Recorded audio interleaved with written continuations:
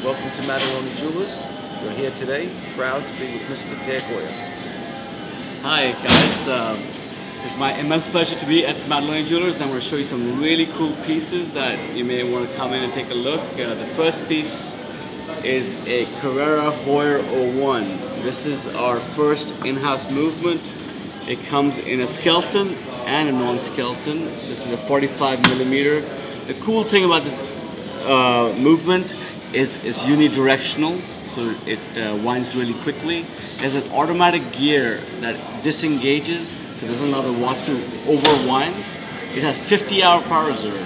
Wow. And, and beyond that, it's beautifully finished with ceramic and, and steel, uh, a modular case, um, a truly a sports car guy's watch, you know. And uh, the other piece I'm going to show you today is the world's first COSC certified tourbillon chronograph. Nobody has built it in the world. And also the most affordable COSC certified chronograph in the world at 15,900. A beautiful piece. Harry, did I hear 15,900 for this tourbillon? Absolutely. Uh, This is unheard of, guys. This is not available anywhere. The, the tourbillon cage is made out of carbon fiber. It rotates one time per minute, one of the faster rotating tourbillons. Um, beautifully again finished with alligator stripe, rubberized on the inside.